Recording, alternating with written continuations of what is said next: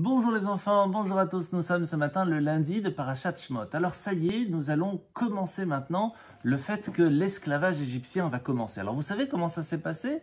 Tout d'abord, c'est Pharaon lui-même qui va aller dans toutes les tribus de Goshen, où se trouvaient les douze tribus juives, et va aller à chaque fois leur dire « Venez, venez tous ensemble, nous allons travailler ensemble pour construire la ville de Pitom et Ramsès, vous serez super bien payés, venez avec moi !»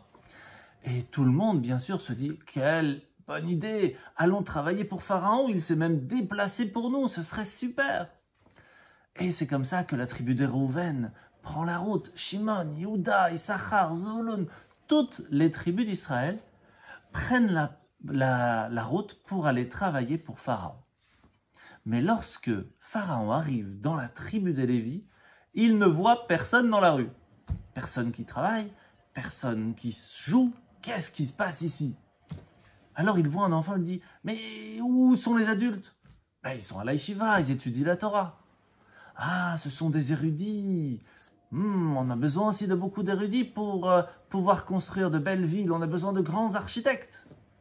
Alors il rentre dans la et dit Messieurs les Lévis, ça y est, maintenant vous êtes des Égyptiens, vous avez le passeport, vous êtes de grands patriotes, venez nous aider à construire les villes de Pitom et Ramsès, et en plus vous serez très bien payés. C'est là que les Lévi rigolent, dit Pharaon, tu es bien gentil, mais nous sommes juifs et nous étudions la Torah. Ce n'est pas pour nous ça. Nous allons étudier la Torah. Et c'est comme ça qu'il fait toutes les yeshivotes et il n'y a rien à faire. Aucun de la tribu de Lévi n'est d'accord d'aller avec lui. Les autres tribus ne sont pas très contents. Mais alors les Lévi, qu'est-ce que vous faites? Pourquoi vous étudiez la Torah? Il faut venir travailler, il faut gagner de l'argent. Comment vous allez faire pour manger? C'est pas possible ça. C'est alors que pendant un an, tout le monde se moquait des Lévis. Ah, t'as vu, nous on travaille, on gagne plein d'argent, c'est super. Sauf que pendant cette année-là, tous les Égyptiens qui travaillaient avec eux, doucement, doucement, malheureusement, vont partir. Et à la fin de l'année, les soldats étaient présents et ne laissaient plus partir les Juifs. C'était l'esclavage. Et même pire que ça, ils vont devoir rembourser tout l'argent qu'ils ont gagné pendant cette année-là. Que vont faire les Lévis alors? Est-ce qu'ils vont se venger? Est-ce qu'ils vont rigoler?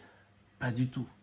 Ils vont arrêter leur étude pour aller aider leurs frères qui sont maintenant esclaves, vont aller les aider dans leur maison, pour leur faire le ménage, leur préparer à manger, s'occuper des enfants, pour que lorsqu'ils rentrent du travail, puissent se reposer quelques instants et manger quelque chose. Voyez les enfants, le fait d'étudier la Torah, le fait de toujours être attaché à Hachem, ça nous protège énormément mais ça ne doit pas pour cela être que pour nous. On doit aider les autres aussi. Ça peut être en transmettant des histoires juives, en transmettant ce que l'on connaît, comme le Aleph Bet par exemple. Si on sait lire, on aide notre ami qui ne sait pas lire. Mais ça peut être aussi si quelqu'un n'a pas de quoi manger, on l'aide à de quoi manger. S'il est fatigué, eh bien, on va le laisser se reposer. Toutes ces choses font partie du judaïsme. Et c'est ce que nous apprend la Torah. Et c'est ce que nous apprend la parache aujourd'hui. Bonne journée les enfants.